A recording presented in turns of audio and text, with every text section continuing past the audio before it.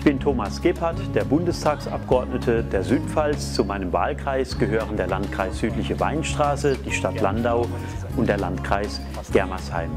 In jeder Woche, in der ich nicht in Berlin bin, biete ich regelmäßig an einen Informationsstand mit dem Ohr vor Ort. Die Bürger können unkompliziert auf mich zukommen mit ihren Anliegen und wir können über all das sprechen, was den Menschen auf den Nägeln brennt. Seit langem biete ich an Politik direkt.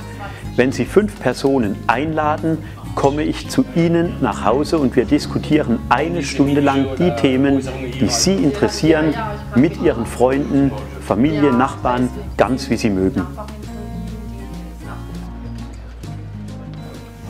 Regelmäßig besuche ich vor Ort vor allem kleine und mittlere Unternehmen und Einrichtungen. Heute bin ich in einer Apotheke in meinem Wahlkreis, um mich über die aktuelle Situation zu informieren.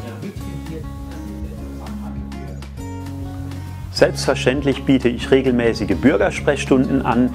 Melden Sie sich einfach in meinem Büro, um einen Termin zu vereinbaren.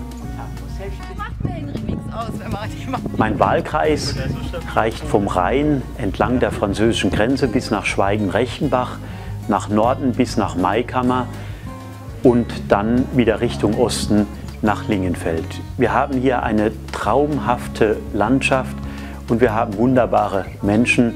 Ich möchte mich weiterhin mit voller Kraft für diese Region einsetzen.